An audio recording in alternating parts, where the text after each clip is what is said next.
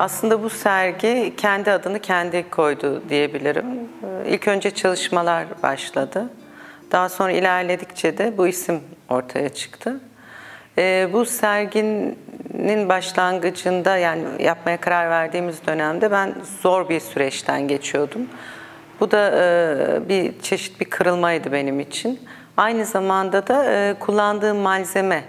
E, ben burada camları kullanıyorum. Daha önce seramikte kullandığım camları, eriterek kullandığım camları burada e, kırarak e, resimlerimin üzerine bir üçüncü boyut, bir yansıma olarak kullanıyorum. Bu da bir kırılma eylem olarak kırılmaydı ve en önemlisi ben burada yaşanmışlıkların insanlara kattığı değerden bahsetmek e, istiyordum. Bu aşamada Kintsugi felsefesini sergimde kullanmam gerektiğini e, düşündüm. Çünkü birebir örtüşen bir felsefeydi bu.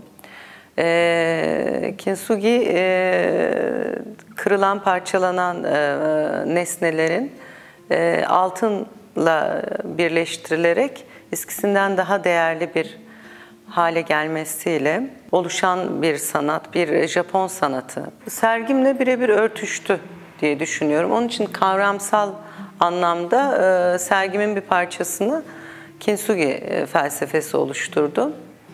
Bunun yanında dediğim gibi aynı zamanda bir hareket, bir kırma hareketi var e, işlerimde. Bir cam var, yansıma var.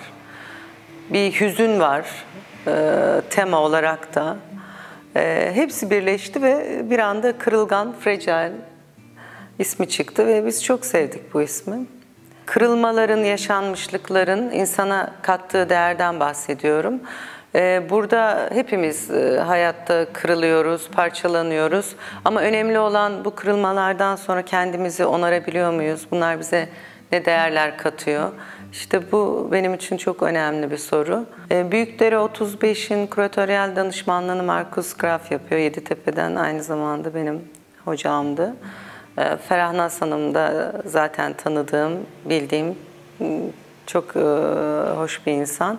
Galerinin çizgisini çok beğeniyorum. Bir şekilde yollarımız kesişti ve biz bu sergiyi yaptık. 13 Ocak 2018'e kadar devam edecek sergimiz. Herkesi bekliyoruz.